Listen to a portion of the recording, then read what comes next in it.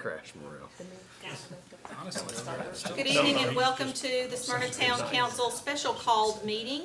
Um, I will call this meeting to order, and Miss Diane, if you will do roll call. Councilman Cole, Yes, ma'am. Councilman Morrell, Here. Councilwoman Peebles, Here. Councilman Short, Here. Councilman Sullivan, Here. Vice Mayor Atkins, Here. Mayor Reed. Here.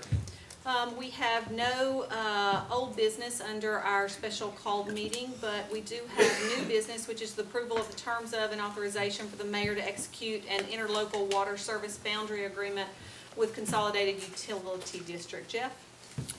Yes, Mayor and Council, and uh, Brian has spoken on this uh, issue before. This is just a document coming before you to uh, memorialize such that the CUD board has already signed. Uh, This will allow uh, two areas uh, out off of Rock Springs direction where CUD has the right and authority to lines, and there's another area that Smyrna has right to, to the water lines. And this is just a swap for property to allow uh, subdivision to have uh, the, the required fire flow. Uh, So we'll be making this swap of area with CUD. It's uh, 14 acres uh, that we will be giving to CUD, and it's 21 acres that will be uh, provided to the town of Smyrna by CUD. Um, Brian, anything to add? No, not at this point. I mean, uh, it's, it's pretty much a straight line exchange of properties in uh, both the zones.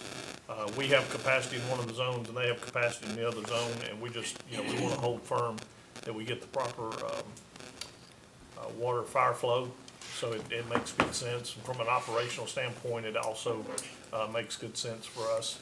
Uh, I will tell you that uh, Mike Strange and I met with CUD this week, and once we get this one approved and move through this, because we have houses being developed on these two pieces of property, uh, I think it'll be in our best interest to sit down with CUD and look at the overall, uh, lines and where they're located, uh, coming in off of, uh, Rocky Fork Road, there where the interchange will be all the way out to the Gwen Farm.